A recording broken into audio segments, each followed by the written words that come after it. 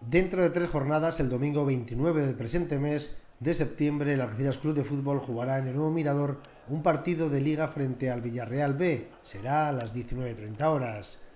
Hasta aquí todo normal. Lo que no es lo es tanto es que el jugador de su equipo algecireño y algecirista podría celebrar 500 partidos defendiendo los colores rojiblancos, especialmente cuando es un club que disputa solo los partidos de liga, alguna que otra vez copa, esporádicamente partidos de promoción y algo más. Un jugador de la tierra que solo ha estado en un club, el Algeciras Club de Fútbol, y que va a marcar un récord que muy pocas veces se da y que muy difícil será que en el futuro otro lo pueda alcanzar, ni en el Algeciras Club de Fútbol ni en otro equipo similar.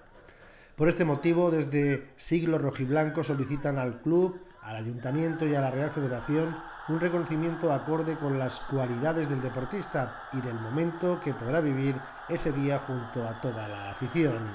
Eso esperan, porque acontecimiento como este tardarán muchos años en que vuelva a repetirse.